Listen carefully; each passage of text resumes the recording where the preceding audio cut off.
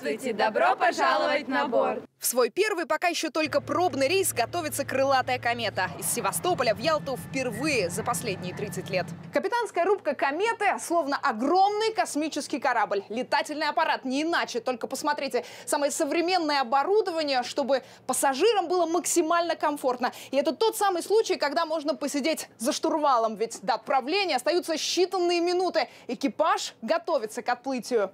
Яркая и изящная. Ее секрет в подводных крыльях, что на высокой скорости буквально приподнимают судно. А это уже архивные кадры. Вот он, прадед современной кометы. В 60-х теплоход связывал крупные города полуострова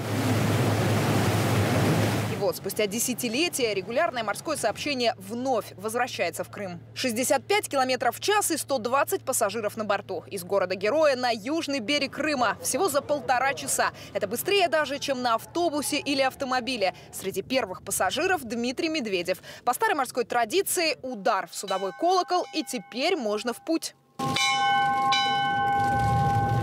В обход пробок, любуясь крымскими пейзажами. В кресле штурмана Дмитрий Медведев. Курс на Херсонес. Первые впечатления уже на берегу. Достойная замена тем старым кометам, ракетам, которые у нас в Советском Союзе эксплуатировались. Так что я надеюсь, что оно войдет в серию и будет очень удобным средством передвижения для большого количества наших граждан, которые в Крыму отдыхают и которые отдыхать будут в других местах. В курортный сезон «Комета» будет летать четыре раза в день. Стоимость билета на всю семью – тысяча рублей. В следующем году на рейс выйдут еще два скоростных теплохода. Мы совместно с Минпромторгом рассматриваем продолжение программы, которую сейчас мы увидели по комете. Вот, для того, чтобы три дополнительные линии можно было бы обеспечить такими замечательными а, современными судами. Достраивать и ремонтировать кометы будут в Севастополе. Это одно из условий улучшения инвестиционного климата региона. Особое внимание и к инфраструктурным проектам.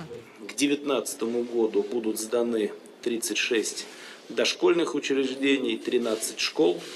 Они в значительной мере позволят решить проблему и второй смены в школах, и проблему очередей в детские сады. Мы прекрасно понимаем, как важны они, как их ждут крымчане.